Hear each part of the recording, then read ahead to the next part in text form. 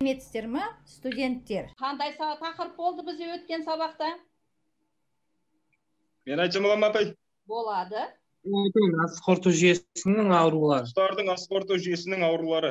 Дұрыс айтасыңдар. Енді осыған біз ойын ай- ашайық. Осы ссылкамен бәріміз кіреміз. Ешқайда кетіп қалмаңыздар ал енді бас ал гүлназ молодец кірді. Руслан ол алишер қанат. Нұрболат Ма, молодцы.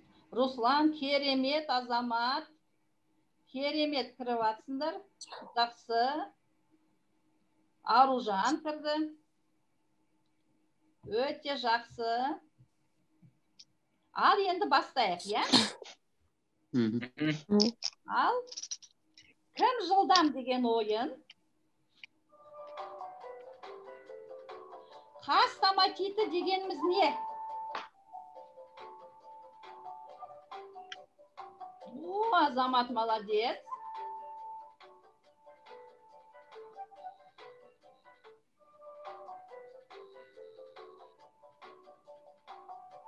О қас томатитінің себептері екінші сұрақ. Витамин қас томатиттің себептері.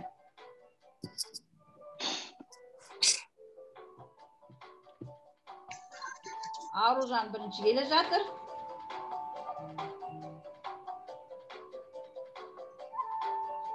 тамаша үшінші сұрақ дивертикул пайда болу немен сипатталатын ауру дейді иә ал дивертикул пайда болуымен сипатталатын ауру он жеті он алты он төрт тез тез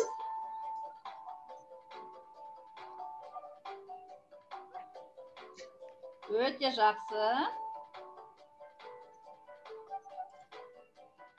келесі құс күйзеледі басын төмен салбыратады айдарын көгерген қай ауруға тән симптомдары келе қабыну. жатыр. құс күйзеледі басын төмен салбыратады айдары көгерген. Қай ауруға тән симптомдары? Жемсаудың аружан бірінші келе жатыр жақсы.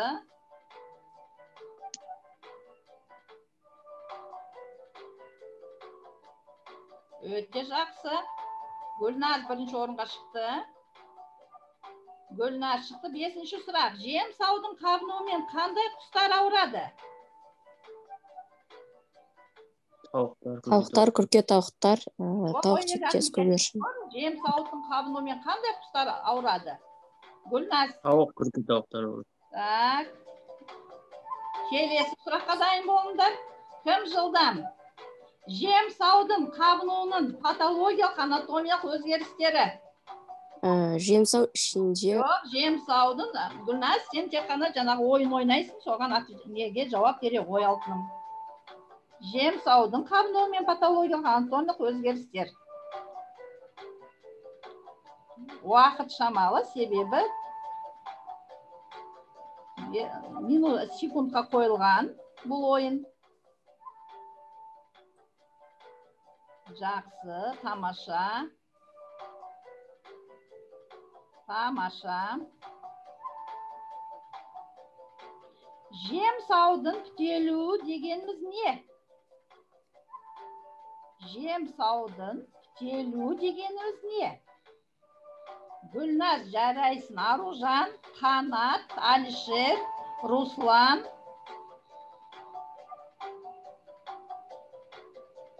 Еламан нұрболат. Бекұт қалмаймыз. Сегізінші сұрақ. Жем саудың пітелуін алдын алу шаралары емі? Ал? Айта қойыңдар ең бірінші гүлназ келе жатыр жарайсың гүлназ. Азамат қалып бара жатырмыз.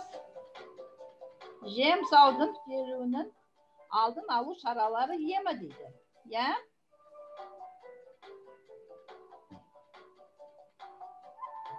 Тоғызыншы сұраққа көшеміз.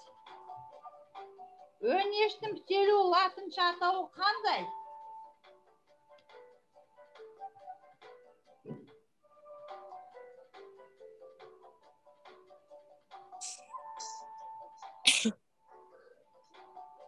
Сау бола ғой.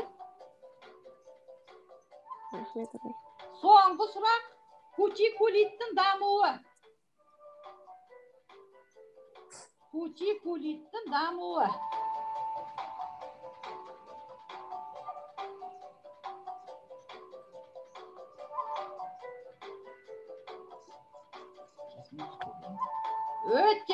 Жақсы біз не міне бірінші орында гүлназ екінші орында қанат аружан әлішер мұхаммад бейқұт ең соңғы орында тұрсыз. Сіз кішкене сабаққа кәдімгідей дайындалуыңыз керек еді жақсы. Ал енді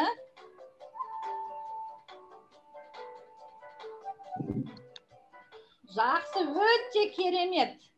Құрметті студенттер енді біз сабағымызға көшейік жауаптарды өте жақсы бердіңіздер рахмет сендерге дайындалыпсыңдар осы құс ауруларын біз ары қарай жалғастырамыз өздеріңіз білесіздер құстардың таңғажайып әлемде қаншама әдемі және қаншама алуан түрлі құстар бар енді құрметті студенттер сіздерге өтініш қазіргі сабақ бізде жұмбақ. Так ал енді бірінші мынау мына қарап тұрыңдаршы өздерің құрметті студенттер. Мына жерде ең қандай жануарлар тұр тұр мына жерде? Қозы. Күшік бұзау. Дұрыс қозының жағдайы қандай? Аяқ аяқ қисайған ал күшіктің ше күшікте де сондай А, аяқ қисайған қисайған а бұзаудың?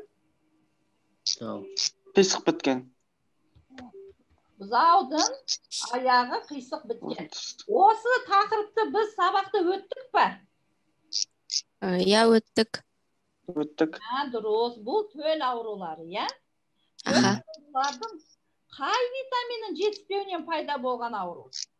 Д витамин жетіспеуі екі түрлі болады. Майда еритін және суда еритін. Дұрыс па.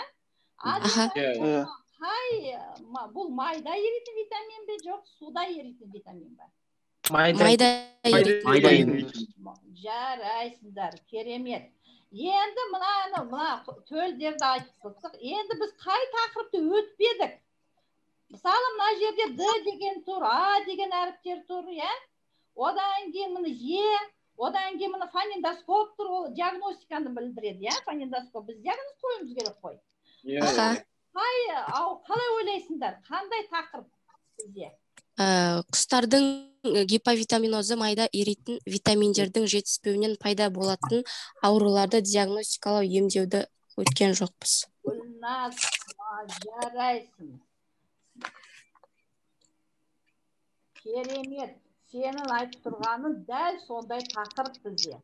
Тақырыбы құстардың гиповитаминозы майда еритін витаминдердің жетіспеуінен пайда болатын ауруларын диагностикалау емдеу. Құрметті студенттер бүгінгі сабақтың мақсаты ол құста гипо- гиповитаминозы майда еритін витаминдер жетіспеуінен пайда болатын ауруларды диагностикалау емдеу әдістерін түсінуіміз керек сабақтың нәтижесі ауруларды диагностикалау емдеу және нені білу керек білесіздер майда еритін витаминдер ол ретинол кальциферол токоферол тапшылығының ауруларын анықтамасын этиологиясын симптомдарын емін білуіміз қажет бағалау критерийлер ретинол кальциферол токоферол тапшылығының ауруларының анықтамасын этиологиясын симптомдарын білеміз. Осы сабақтың аяғында осыны білуіміз қажет. Феролдың тапшылығы төлдерде де кездеседі және құстарда да кездеседі. Сол себептен мен сіздерге сұрақ қояйын деп едім. Төлдерде қалай сипатталады ол? Немен сипатталады төлдерде кім айтады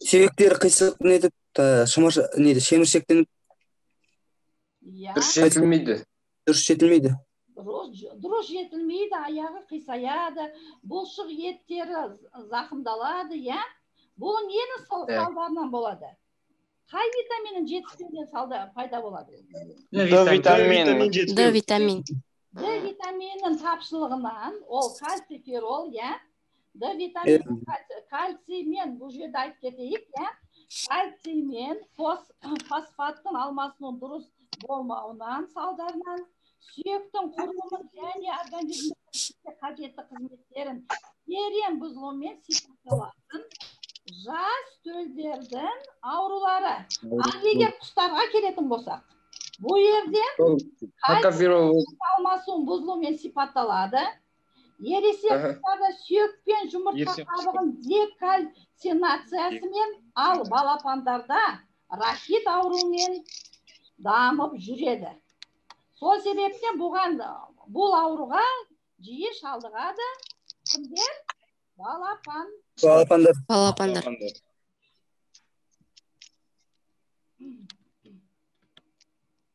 дұрыс айтасыңдар балапандар.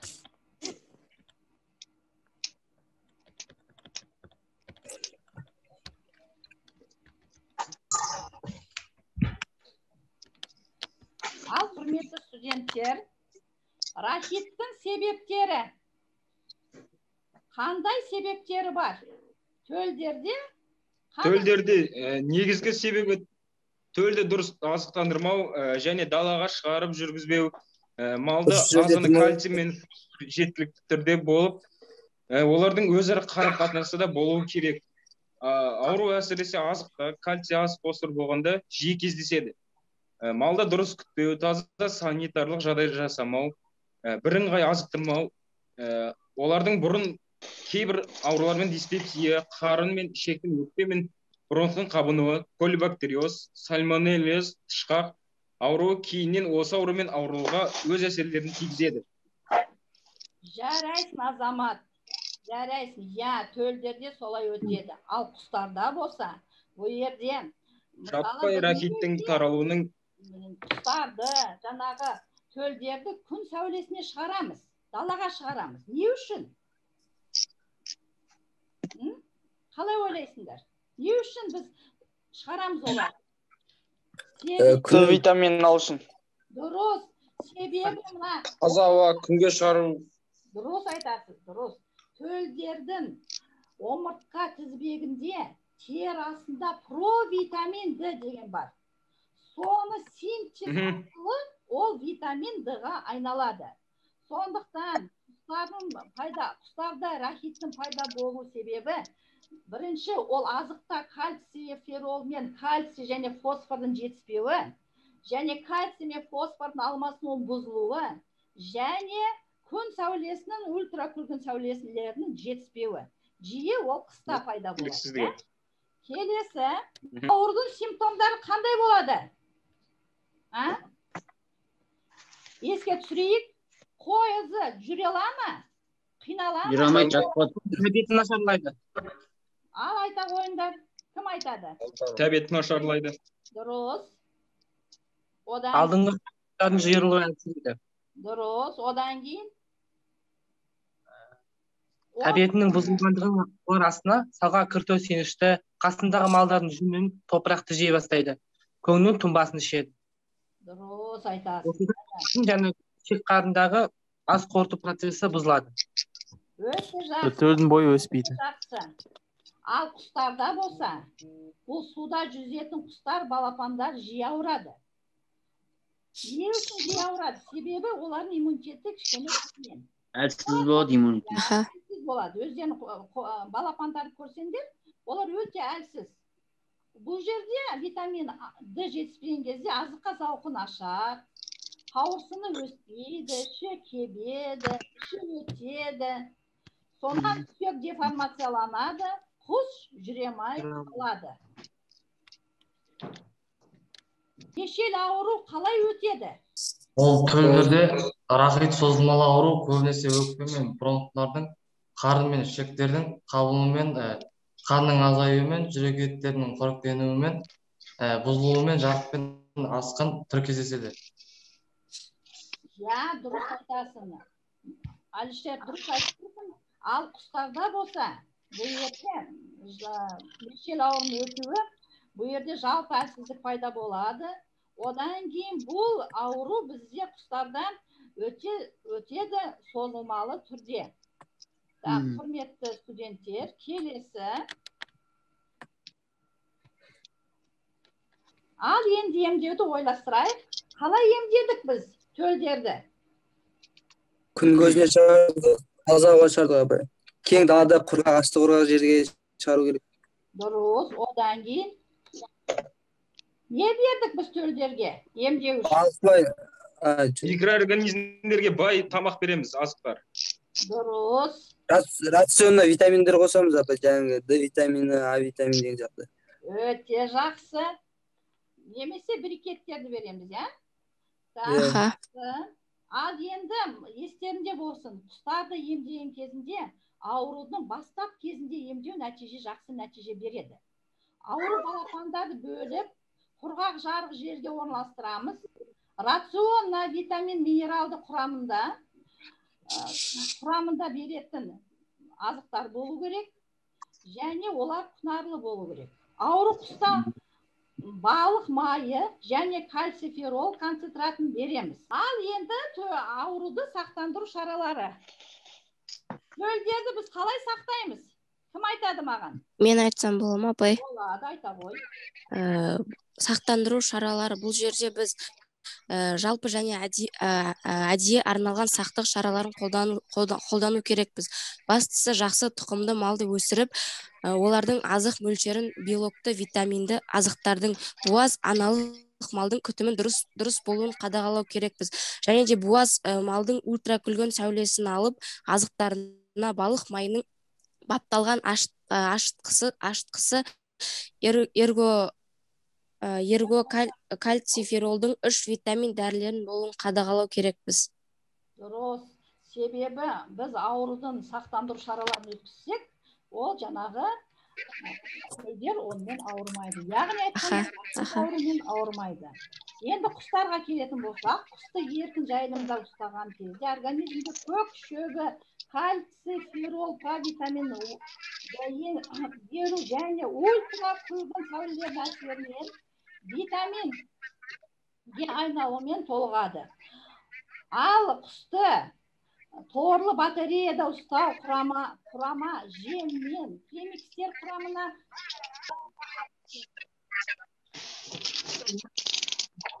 ал бүгін сабақта мен білдім. Әлішер не білдің айта қойшы. Бүгін сабақта не білдің мен айтсам бола ма болады болады айта беріңіз Витамин, кальций, такоферол, тапсырманы шамасын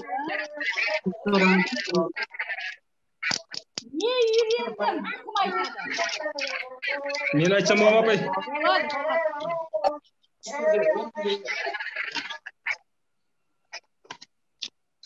болады айта ғой не үйрендің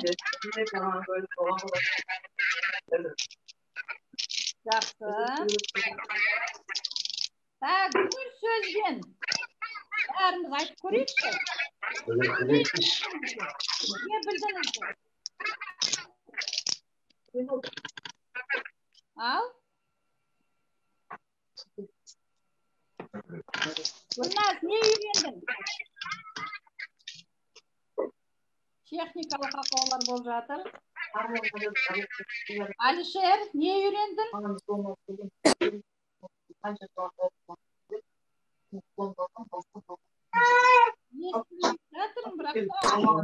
апай сіздің дауысыңыз дұрыс естілмей жатыр.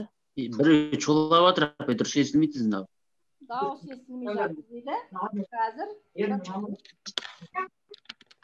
ол техникалық ақаулар болып жатыр.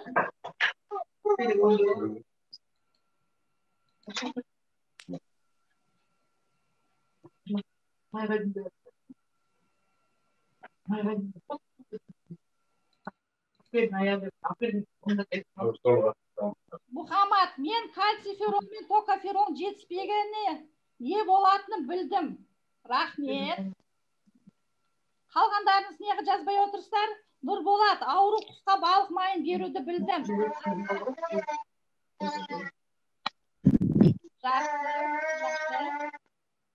Жазу керек жазғанды жазбадыңдар мұхаммед қайта нені техникалық ақауларым бойынша қайта кіріп қайта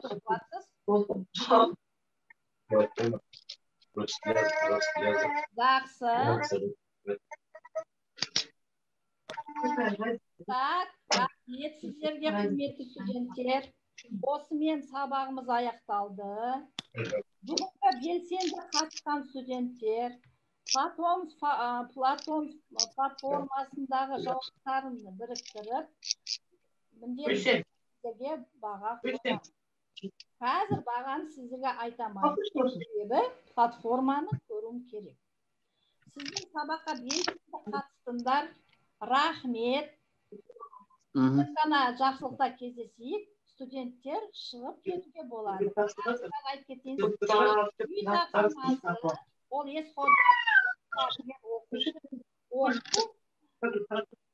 екі жүз алпысыншы бет екі жүз алпыс бесінші бетке дейін рахмет сау болыңдар сау Сау сізге де рахмет апай Сау болыңдар. сау болыңыз апай сау болыңыздар